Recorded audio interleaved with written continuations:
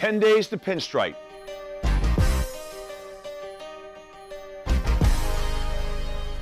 Did you get your tickets yet?